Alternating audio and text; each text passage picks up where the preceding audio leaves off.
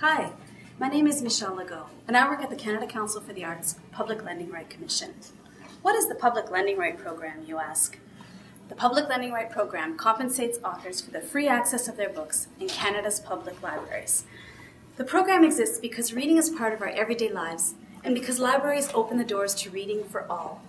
Authors are central to this popular access to culture. In other words, we recognize that creativity is an essential part of our daily lives. This year marks the 25th anniversary of the Public Lending Right Program and the 75th year of the Canada Council's Governor General's Literary Awards. Also, the Canadian Commission for UNESCO celebrates the United Nations International Year of Youth and the UN Literacy Decade.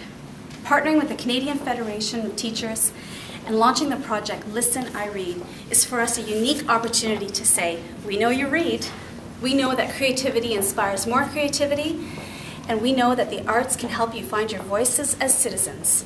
Help us bring the arts to life. We're listening.